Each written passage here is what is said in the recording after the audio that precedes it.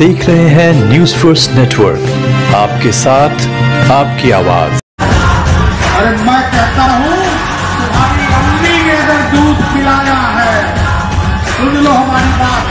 Record जिसको करना हो, कर लो।